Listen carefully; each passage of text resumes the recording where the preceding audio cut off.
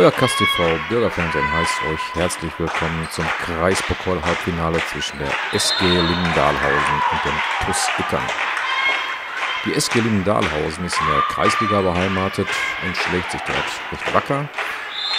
Ja, unsere Damen des äh, Kasseler Vereins TUS Ickern haben leichte Formschwankungen, spielen in der Bezirksliga und gehen eigentlich als relativ klarer Favorit ins Rennen.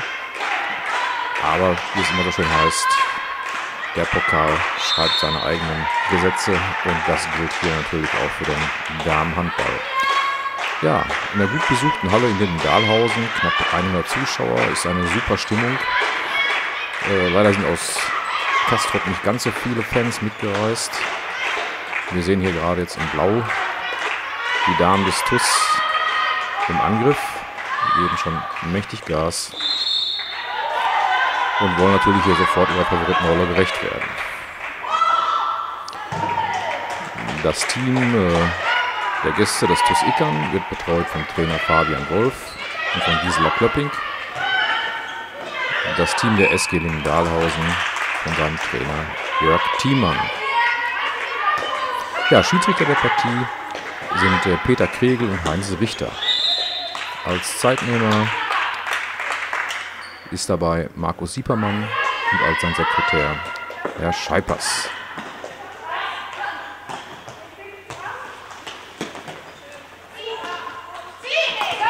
Ja, wir wünschen euch viel Spaß beim spannenden Match.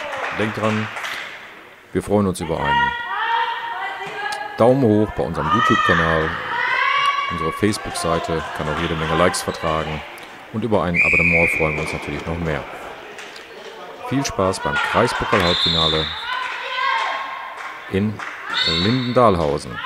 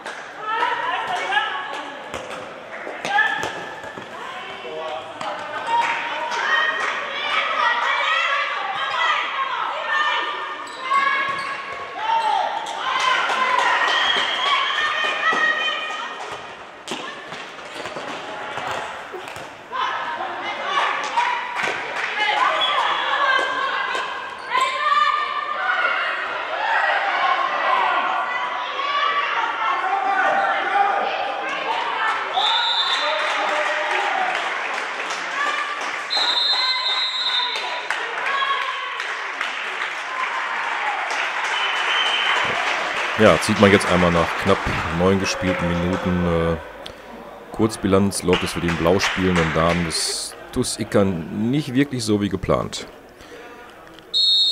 Ein einziger Treffer wurde bis jetzt erzielt durch äh, Christina Müller. Ansonsten Fehlanzeige, während bei der SG Lindendahlhausen schon drei Treffer zu Buche starten. Ja, wollen wir hoffen, dass äh, Trainer Fabian Wolf jetzt äh, während des Timeouts die richtigen Worte gefunden hat, um seinen Damen ein Konzept zu geben äh, gegen die gut verteidigende SG in Dahlhausen zum Erfolg zu kommen. Aber das fängt nicht wirklich gut an. Sofort ein relativ unnötiger Ballverlust. Und Lynn Dahlhaus ah, haut das Ding wieder in den Kasten. Janina Mertens ganz stark heute setzt das Ding in den Winkel. Ja, und der Anschluss, beziehungsweise der Abstand, der drei Treffer Abstand, drei Tore Abstand bleibt gewahrt.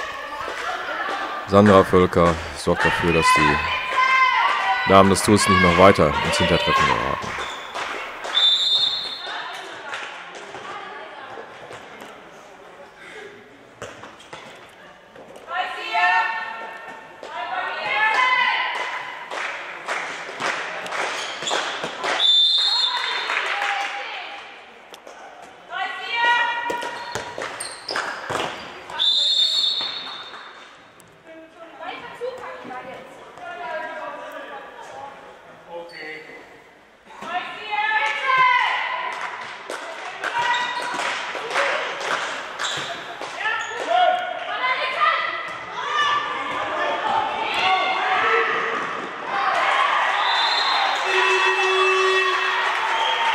Ja, auch wieder sehr gut verteidigt, kann man nur mal sagen.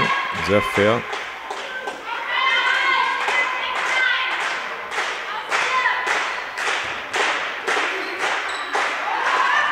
Ja, auch ein leichtfertiger Ballverlust. Da fehlt einfach der Biss und der, der letzte Wille, beziehungsweise auch der, der Blick für die Lücke. Der ist heute einfach nicht da. Wobei man natürlich äh, Eskelin Dahlhauser ein Kompliment machen muss, dass sie die Abwehr gut steht. Ein bisschen äh, ungewohnt für die Ikaner auf jeden Fall, da überwiegend das äh, 5-1-System von Linden Dahlhausen bevorzugt wird. Und äh, dadurch auch äh, der Spielfluss bei den Ikaner Damen doch äh, recht gut unterbunden wird.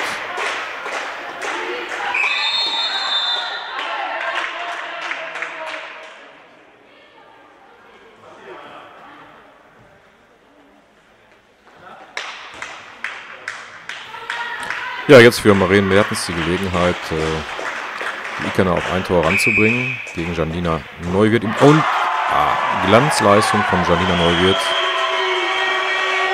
Alles richtig gemacht.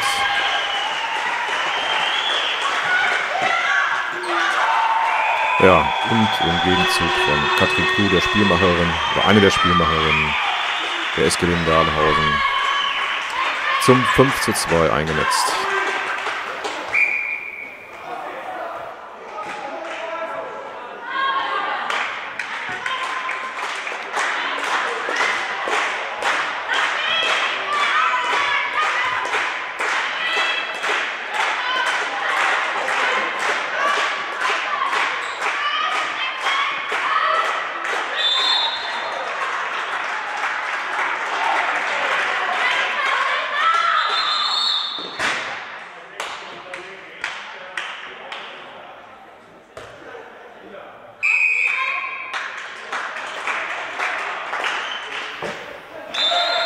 Ja, da hat Sandra Völker wunderbar Denise Becker am Kreis angespielt.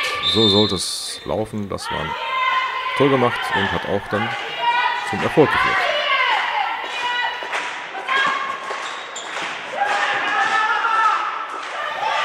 Ja, mit viel Biss und Körpereinsatz stellt Katrin Kluh ihren zweiten Treffer vom alten Abstand wieder daher. Es wird nicht leichter für die Damen ausgekommen. Jetzt äh, knappe Viertelstunde gespielt. Der Bezirksligist muss sich langsam was einfallen lassen. Also nur so weitermachen, das wird nicht reichen.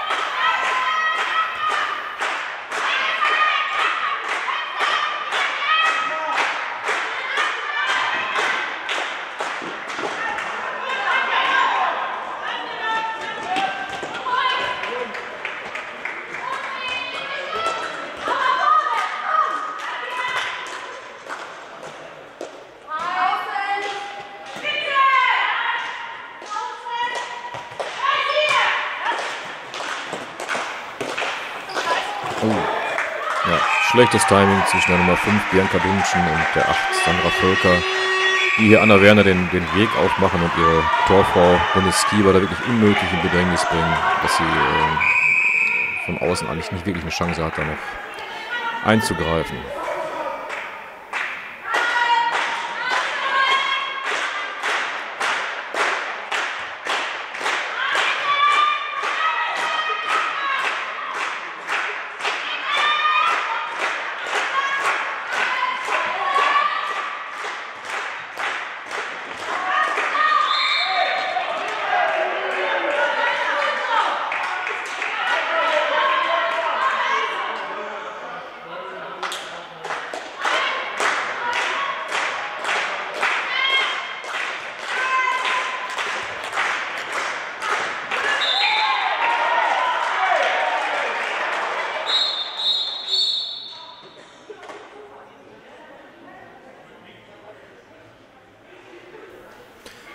Ja, nach gut 16 Minuten kann man jetzt sehen, das äh, vermeintliche Losglück war dann doch nicht ganz so glücklich bis jetzt.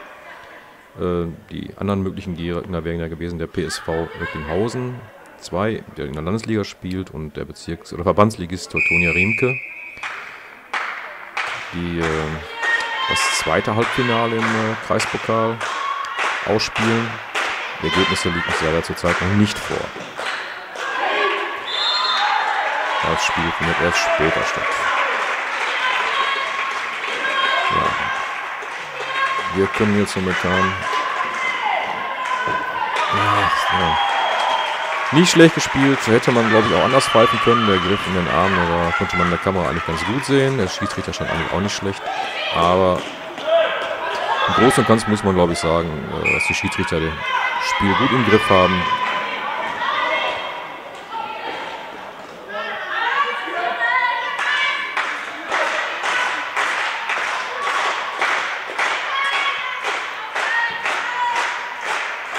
Solche kleine Ballverluste äh, jetzt gerade wieder, die, stoppen einfach das, das Durchspielen und äh, zeigen auch, dass das Team nicht, nicht ganz so sicher ist.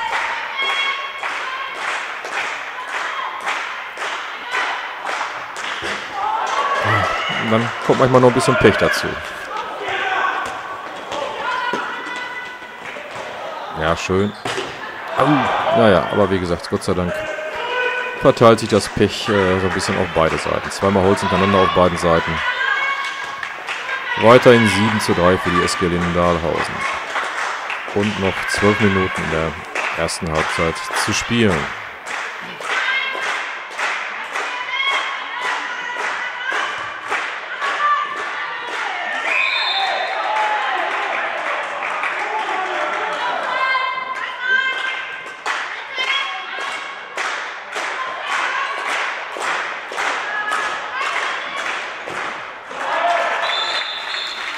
Ja, mit dem schönen Wurf bringt Dennis Becker den TUS mit 7 zu 4, also 4 zu 7. Auf einen drei Tore Abstand wenigstens wieder hin. Schöne Einzelleistung.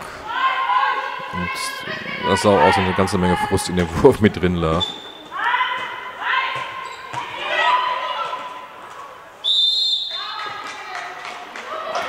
Schöne Abwehrleistung, gut aufgepasst auf das Kreisanspiel.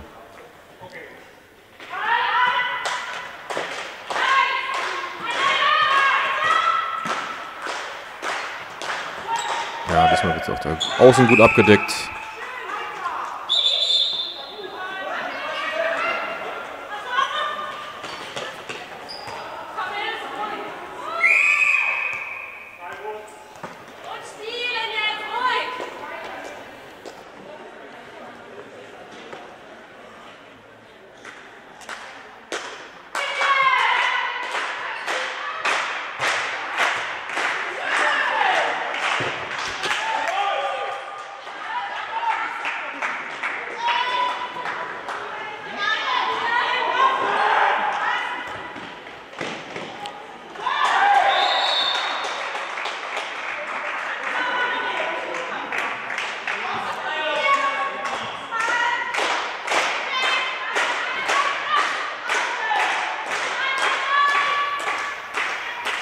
Schön durchgesetzt von Celia Itermann. Aber Da fehlten auch die letzten Prozent Genauigkeit, um das Ding reinzutun und äh, den Torabstand noch ein bisschen zu verkürzen. Noch 10 Minuten in der ersten Halbzeit. Drei Tore Rückstand. Und äh, Wim Darnhausen hat momentan das Spiel eigentlich ganz gut im Griff.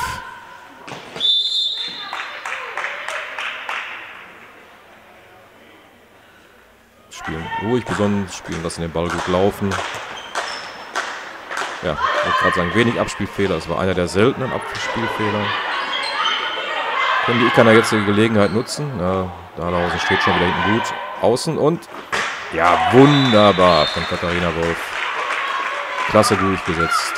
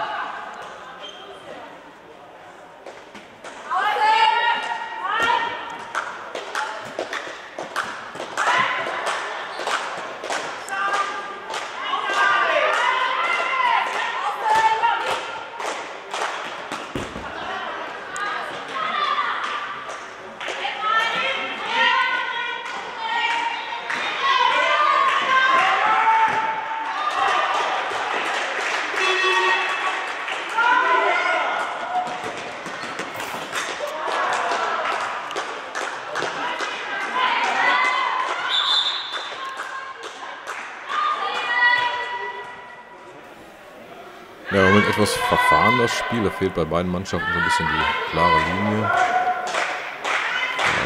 Die kann aber mit aller Gewalt natürlich jetzt in drei Tore Vorsprung etwas verringern. Aber das wird so nicht klappen. Ja, genauso unnötiger Ballverlust bei der SG. Was dem Ikanan dann nochmal die Möglichkeit gibt, vielleicht den Abstand doch noch zu verkürzen. Wichtig wäre jetzt in der Struktur ins Spiel zu bringen. Ordentlicher Spielaufbau.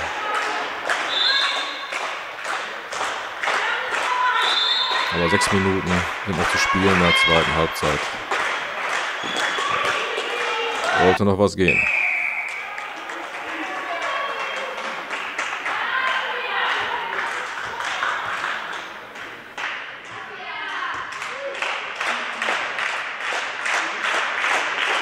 Ja, Silvia Ittermann tritt zum 7 Meter an. Ja, ganz trocken und sicher. Keine Chance. Für die Torfrau.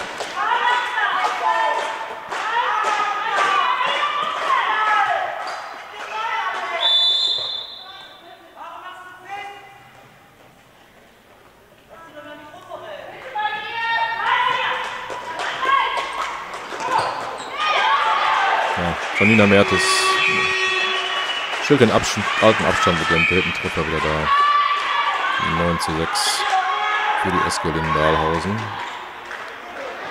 Noch knapp 5. Ja, wunderbar. Die Celia Ittermann noch nach dem 7 Meter noch von außen mit ihrem zweiten Treffer nach und verkürzt auf 9 zu 7.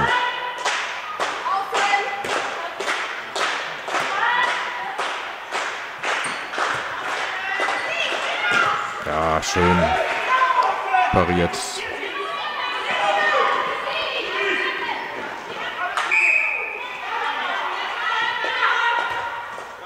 Jetzt äh, ruhig den Spielaufbau weitermachen.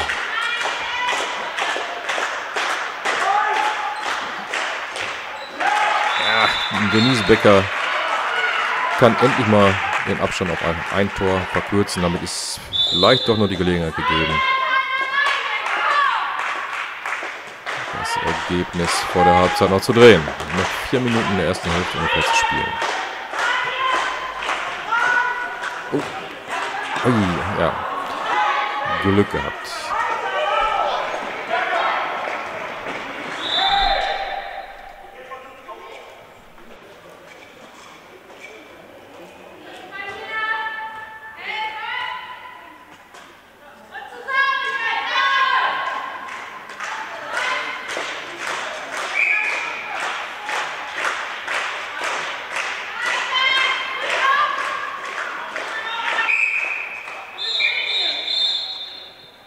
Ja, muss man sagen, die knapp 100 Zuschauer in der Halle stehen wirklich äh, hinter ihrer Heimmannschaft und äh, feuern die frenetisch an. Habe ich schon so lange nicht mehr erlebt. Äh, jetzt gerade beim Damenhandball. Tolle Kulisse, tolle Fans und auch fair. Macht für die heimischen Gäste natürlich doppelt Spaß, ihr Team regelmäßig in Führung zu sehen. Aber vielleicht schaffen das ja die Kastropper Damen jetzt vor der Pause den Ausgleich zu erzielen. Ja, natürlich psychologisch immens wichtig.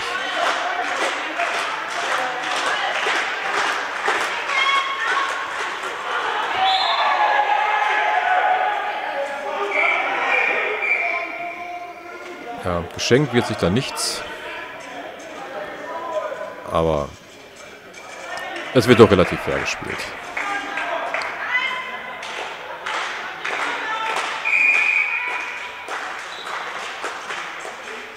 Schönes Anspiel an den Kreis.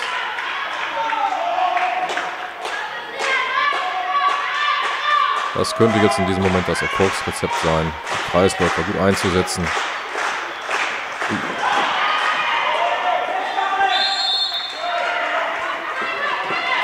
Ja, Lieben Dahlhausen betreibt wirklich ein äh, sehr aggressives Vorchecking.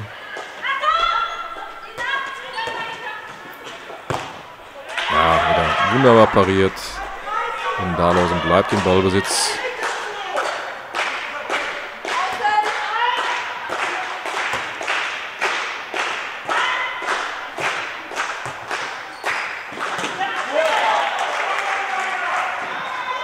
Ja. Da musste sie leider auch sehr in Distanz werfen, sonst wäre es ein äh, Doppelfehler geworden. Beziehungsweise Schrittfehler. Leider nur das Holz. Somit wieder Linden Dahlhausen im Angriff.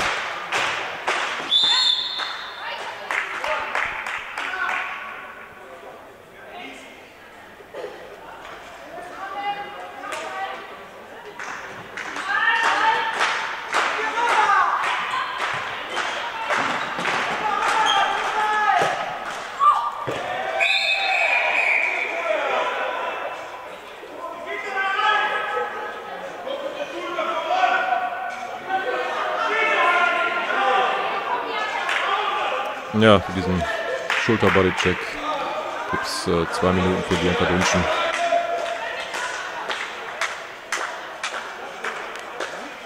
Und sieben Meter für die SG. Katrin Kluy. Oh. Ja, zweimal super pariert. Freistoß für die SG, aber der sieben Meter konnte auf jeden Fall äh, nicht verwandelt werden.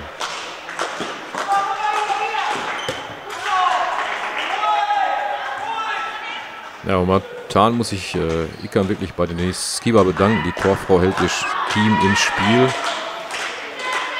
Drei, vier Superchancen hintereinander vereitelt, sodass Ikan jetzt wirklich bis auf ein Tor rangekommen ist.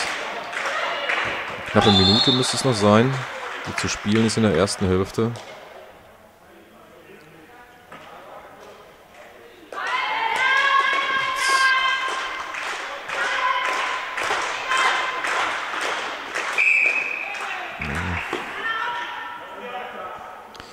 Fehlt so der zündende Gedanke, wie man die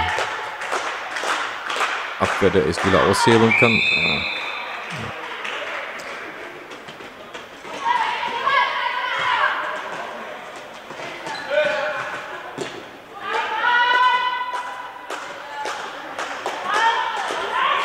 Ja. Im Spielaufbau sind die Esgila einfach ein äh, bisschen übersichtlicher, ruhiger, überlegter spielen den Ball schön durch, nehmen die Außen mit.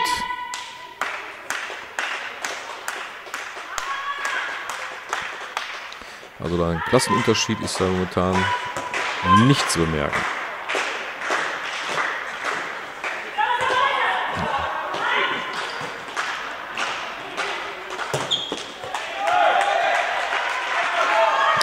schön abgeblockt und der Tempo-Gegenstoß. Das Ja. Da wird mit harten Bandagen gekämpft. Und sich nichts geschenkt.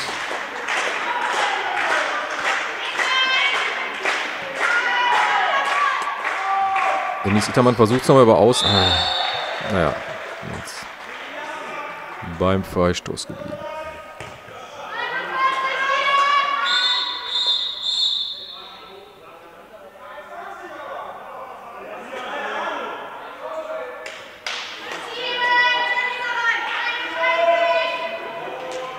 Ja, jetzt auch für René Besellock zwei Minuten Zeitstrafe. Jetzt doch nochmal vielleicht die Gelegenheit. Ja, den versenkt äh, Silvia Ittermann. Schön, diesmal über links außen. Und damit zum ersten Mal während der gesamten Spielzeit vom 0-0 abgesehen. Ein ausgeglichenes Spielergebnis was die Trainer, was die Nerven von Trainer Fabian Wolf zur Pause wahrscheinlich erheblich beruhigen wird.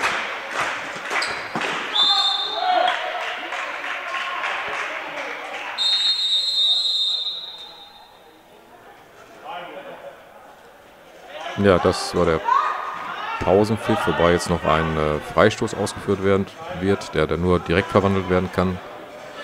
Sprich, die Ikaner werden jetzt den Block bilden.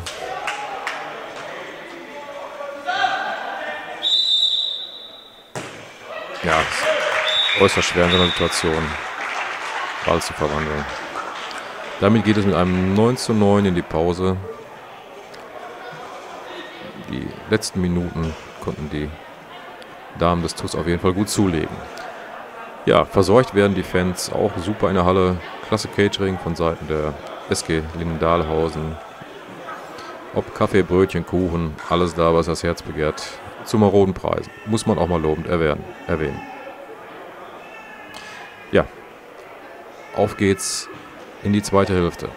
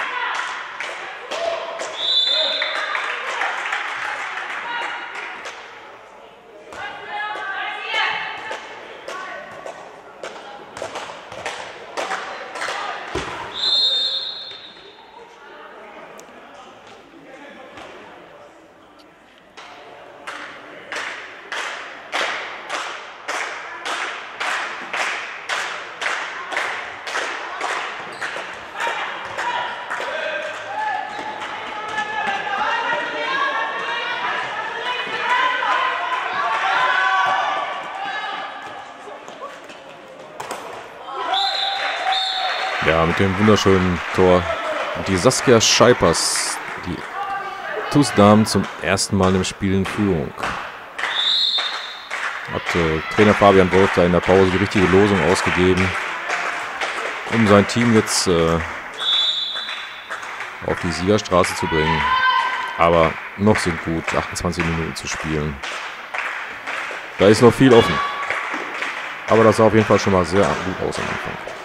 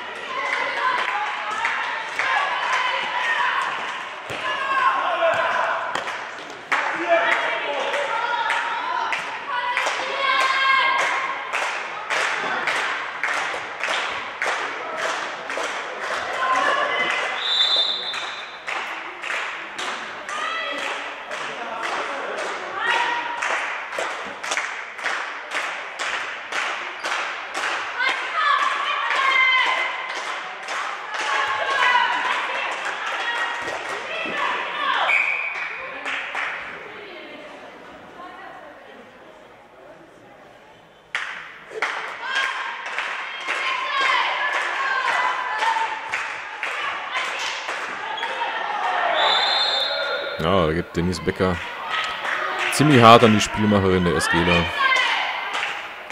äh, Katrin Kuh ran. Scheint, äh, ja, hätte jetzt fast von Manndeckung gesprochen, aber wäre nicht äh, gender equal.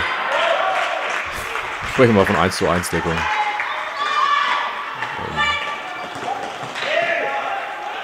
Ähm, äh, als wenn Fabian Wolfer die Lösung ausgegeben hätte, Cutting da in, äh, in die 1 zu 1 Deckung zu nehmen, den Spielfuß der SG da zu stoppen.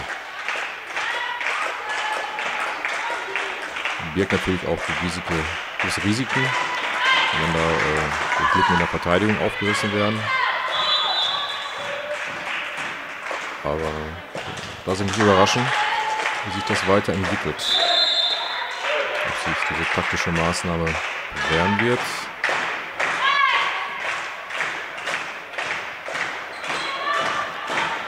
Ja, sofort ist der Mies Becker auch wieder stößt davor. Ist natürlich mit ihrer Größe und Reichweite dafür äh, sehr gut prädestiniert, der Bälle abzufangen.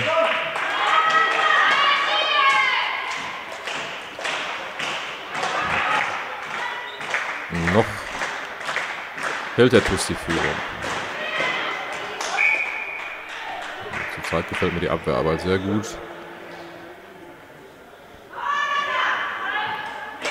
Konsequent zusammen, läuft gut mit, Stellungsspiel passt.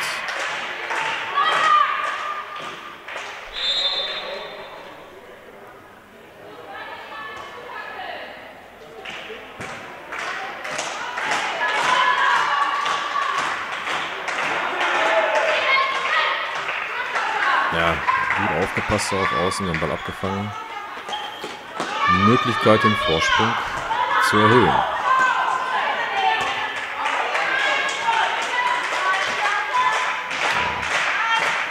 Mal durchspielen, in Ruhe aufbauen. Genau richtig zum Zeitpunkt, ja. Und, ah, wunderbar. Genau so muss es äh, funktioniert. Die Abwehr auseinandergezogen, schon durchgespielt. Den richtigen Moment abgewartet. Klasse gemacht.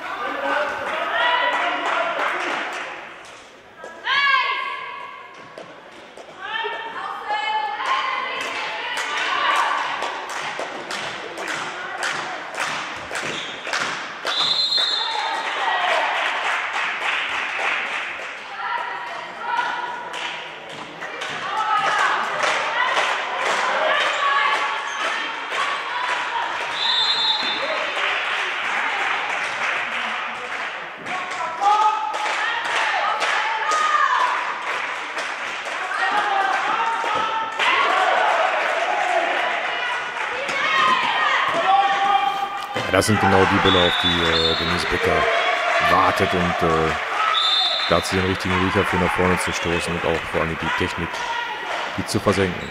Und äh, so hat sich jetzt das Blatt gedreht und äh, der TUS hat eine komfortable Drei-Tore-Führung auf einmal.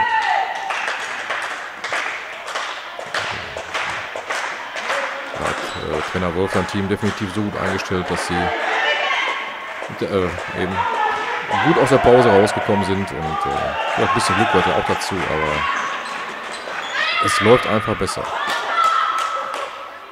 Und auch äh, Katrin Kuh äh, durch die 1 zu 1 Deckung ein bisschen aus dem Spiel zu nehmen, Ei. hat äh, anscheinend Wirkung gezeigt. Also, nach der Pause ist der Eskelin Dahlhausen noch kein Tor gelungen.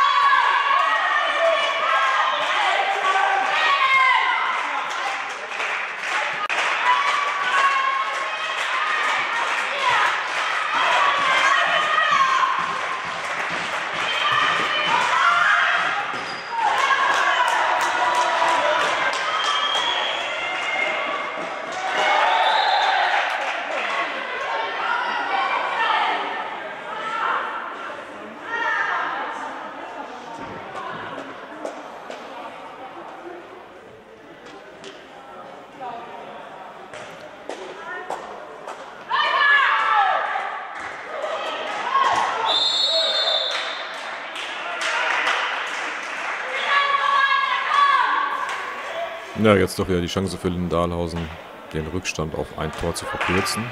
Aber kein beide Tore, Oh, super gehalten. Wie gesagt, noch kein äh, Tor aus dem Spiel gelungen. Das äh, letzte Tor auch an sieben Meter. Das tut natürlich weh, jetzt äh, den Anschlusstreffer nicht erzielt zu haben, dann aus so einer Situation heraus. Hey. Ja, das war natürlich von äh, Janina Mertens ein äh, tolles Ding. Technisch perfekt umgesetzt in den Winkel.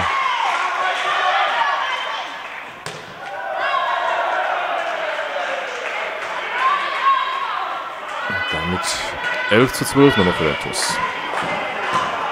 Ja, neben Dahlhausen wieder ein Ballbesitz.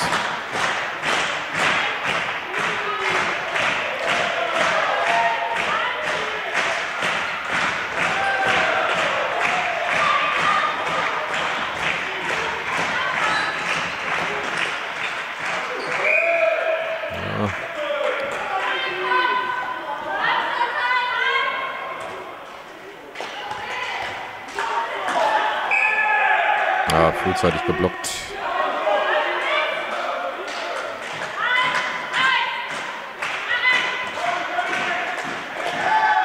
Ah.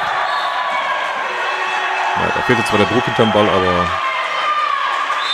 die Kassober Torfer auch einen falschen Fuß erwischt kann René Gasolik den zweiten Treffer erzielen und den Ausgleich für ihre SG Lindahlhausen. Ja, ich hatte gehofft, dass sie da haben des TUS die Gelegenheit nutzen können und äh, den Vorsprung ausbauen bzw. stabilisieren. Aber ja, aber da Christina Müller schön durchgesetzt. Wieder die Ein-Tore-Führung für den TUS hergestellt.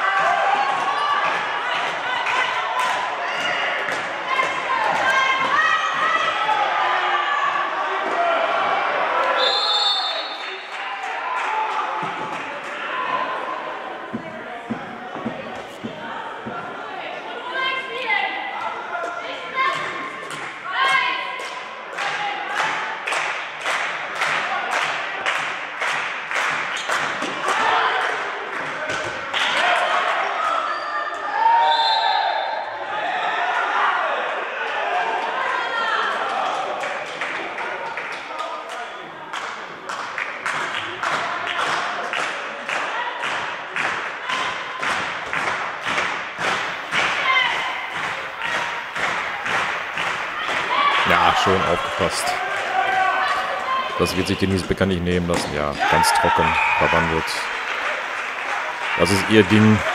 Da ist sie schnell, präzise, überlegt.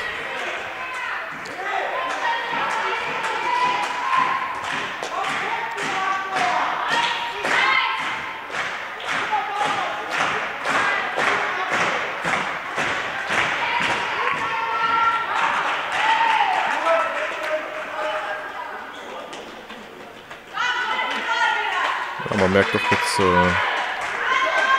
Katrin Crew ist ja schon länger jetzt nicht mehr auf dem Feld gewesen. Wahrscheinlich aufgrund der Manndeckung aus taktischer Erwägung, der 1 zu 1 Deckung, äh, taktischer Erwägung wird erstmal rausgenommen. Aber das hat dem Spiel nicht wirklich gut getan.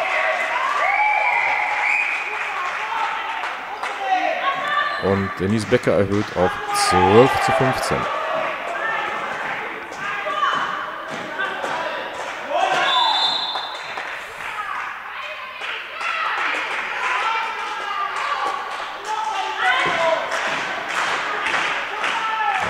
gut 20 Minuten zu spielen ist.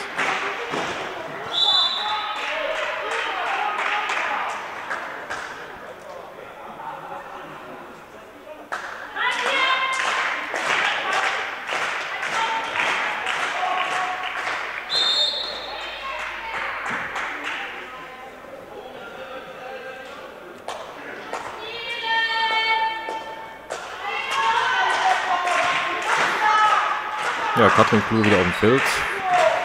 Verteilt also sofort wieder die Bälle.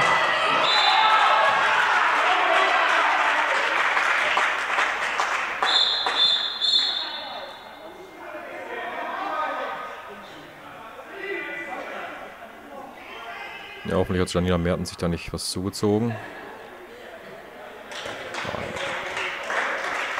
Ganz wichtige Spielerin für die SGler.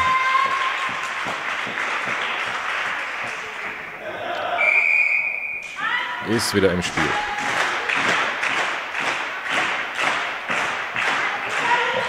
Ja. Missverständnis beim Abspiel, beziehungsweise einfach unsauber abgespielt, aber ohne Konsequenzen. Ja.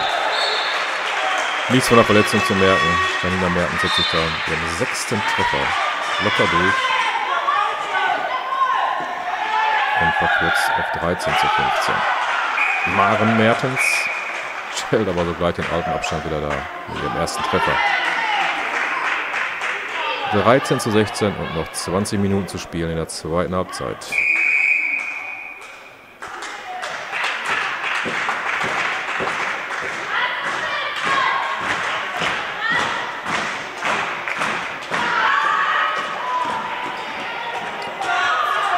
Ja, da konnte Katrin Blue nochmal gerade den Konter verhindern.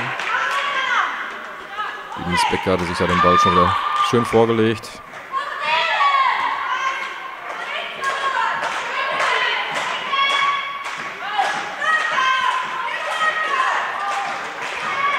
Das ist in den nächsten Minuten beobachten, ob der Tusse schafft, seinen Vorsprung noch weiter auszubauen.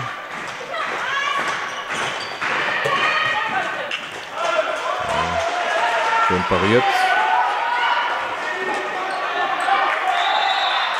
Ja, da kann der Konter unterbunden werden.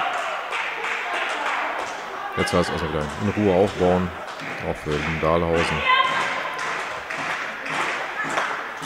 Ah, ganz trocken von Ramina Mertens.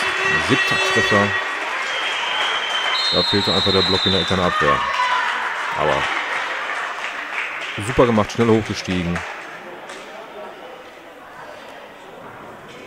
Timeout vom TuS Ickern beim Stand von 14 zu 16.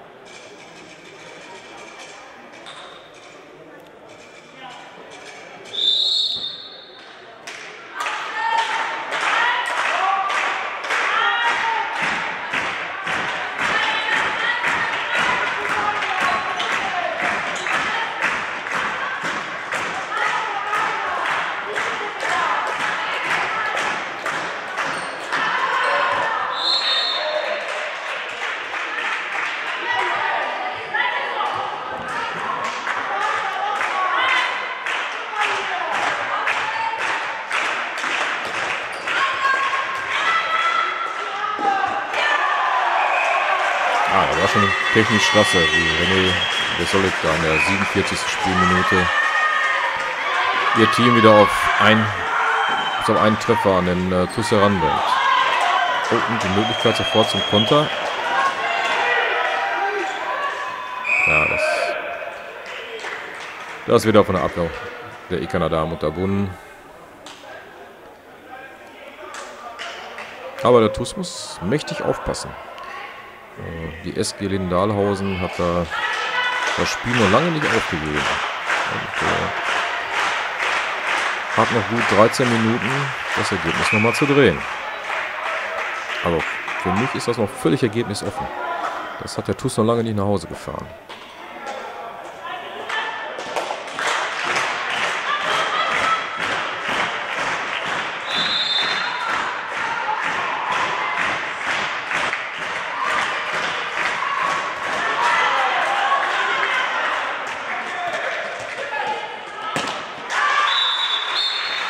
Ja, in gewohnter Manier Denise Becker mit ihrem siebten Treffer. Da hat die Torfrau kaum eine Chance. So, jetzt Timeout von Linden Dahlhausen.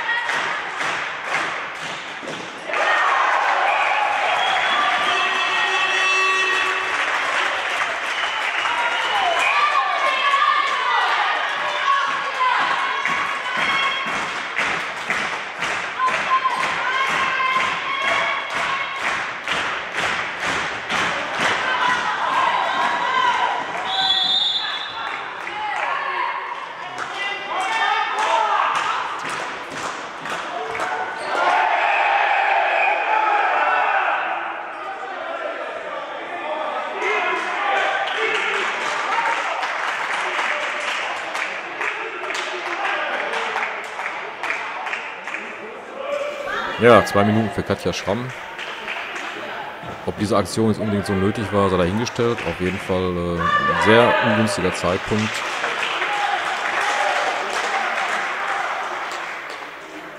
Sollte der jetzt sitzen, würde es, wäre das der Ausgleich.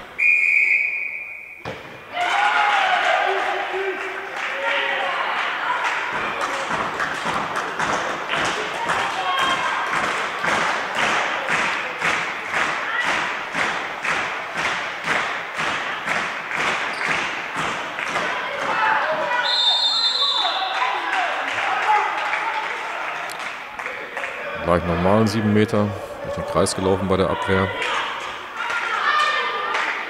Ob das... Ja, da war nichts zu machen. Da setzt Hannah Pork oben in den Winkel. Erster Treffer für sie in diesem Spiel. Aber da war nichts zu halten. Ja, jetzt in Unterzahl noch Ikan.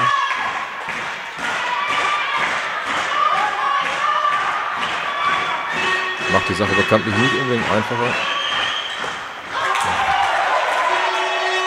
Ja, ich hätte jetzt versucht, in der Situation vielleicht die Zeit doch noch ein bisschen mehr runterzuspielen. So äh, in Überzahl SG Lindendahlhausen.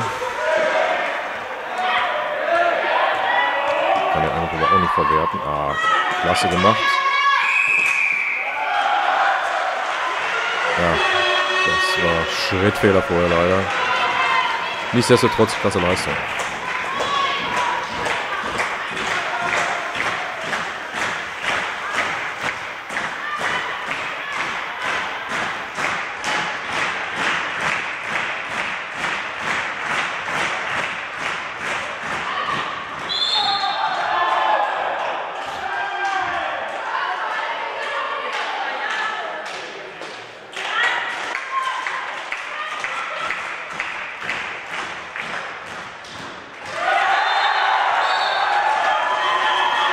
Der 52. Spielminute schafft es Lisa Wolf mit ihrem ersten Treffer die Eskelin Dahlhausen wieder in Führung zu bringen.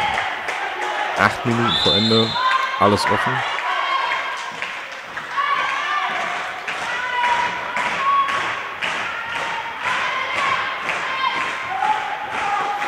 Die Halle fährt so langsam an. Ja, wunderbar. Bianca Dunschen setzt sich da aber außen äh, durch. Technisch das umgesetzt. 18 zu 18. Ja, wie gesagt, die Halle fängt so langsam an zu toben hier. Äh, wie uns vor dem Kamerabild zu entnehmen ist.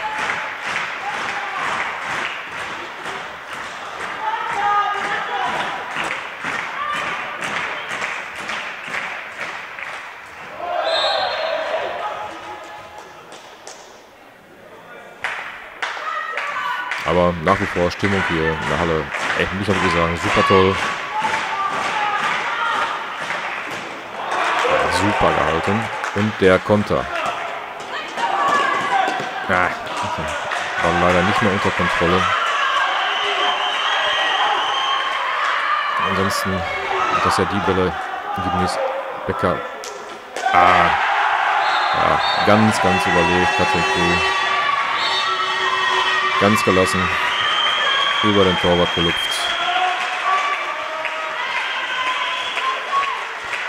Damit 19 zu 18 für die SG. In der 53. Minute.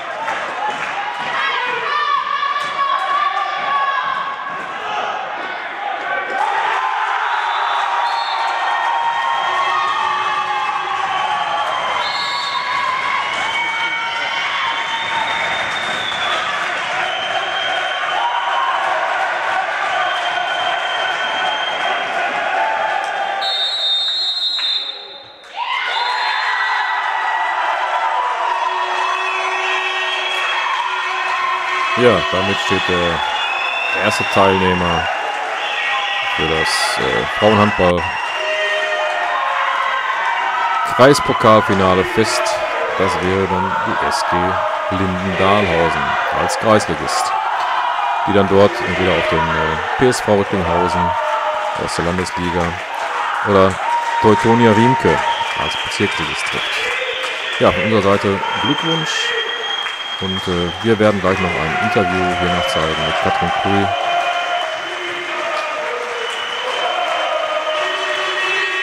Ja, da ist äh, Stimmung. Katrin vorne im Vorder Vordergrund gerade noch gewesen.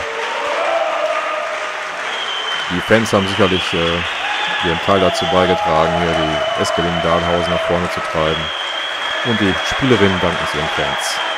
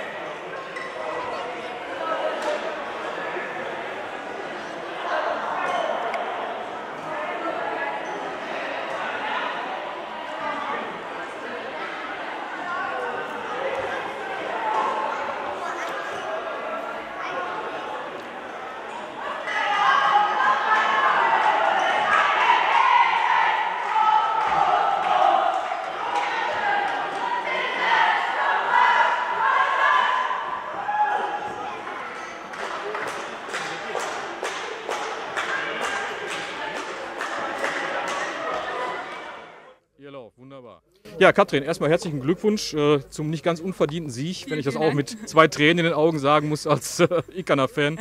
Aber ihr habt euch äh, wirklich wacker geschlagen. Äh, war das so geplant oder habt ihr euch speziell vorbereitet auf dieses Duell? Ja, also geplant, natürlich. Ne? Also Sieg ist irgendwie immer das Ziel. Ähm, bei uns ist aber vor allem auch der Spaß im Vordergrund, hat unser Trainer in der Kabine auch nochmal gesagt. Als es dann ja knapp wurde, 9-9 zur Halbzeit, äh, nicht den Spaß verlieren, genauso weitermachen, weiter kämpfen. Und genau das nehmen wir uns auch fürs Finale vor. Ja, da wissen wir jetzt, glaube ich, noch nicht, äh, wer euer Finalgegner nee. wird, aber das wird noch eine Nummer härter auf jeden Fall. Vermutlich ja. also da müssen wir nochmal richtig ranklotzen. Ja, also wie gesagt, nochmal ganz herzlichen Glückwunsch. Also wirklich, Einsatz gezeigt, alles äh, tolle Spielzüge da auch gemacht und äh, ja, ich würde sagen, dann nochmal an dieser Stelle äh, an, die, an, das Dahlhausener Team alles Gute, dem Trainer gute Arbeit geleistet und äh, ja, dann wird man sich mit Sicherheit nochmal irgendwann sehen. Ich Katrin, so. danke dir. Ja, vielen Ciao. Dank. Und Cut.